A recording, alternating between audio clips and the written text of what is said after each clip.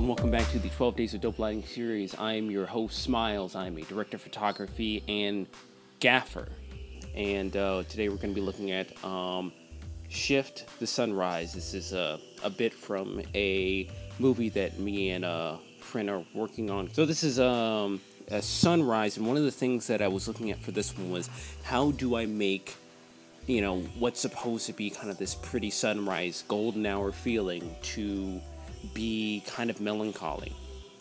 So what I did is I looked at it and I decided, okay, so I know I definitely need to make this high contrast, even though I still need to sell the uh, time of day. So I started with the fill light, which is uh, going to be daylight, and that's just going to be the neutral fill that's going to be in the room. So I took a one by one LED panel and I bounced it off the ceiling for a nice soft fill light. It's very, very subtle. I think I had it dimmed down pretty far just so the um, it'd be just enough where you could still see a little bit of detail in their faces, but not enough. And then, uh, or not much. And then I took a 1K Fresnel and added a uh, quarter CTO to sell the um, orange that would be coming from a simulated direct sunlight from outside.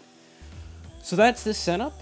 Um, again, you know, just uh, another disclaimer that you know I don't consider myself mastered this, and obviously there's going to be plenty of mistakes that people see, and I think that's just as interesting to explore with these. And uh, you know, if there's anything to be learned is um, from it, or anything to be learned about how not to do it as well, then uh, I hope that people get what they want to get out of it. Stay tuned for the next episode in particular. It's going to be paired with this one because they are similar lighting setups, but I had to convey two slightly different feelings between this one and the next one using similar lighting setups, but still having to make them distinct for different times of day.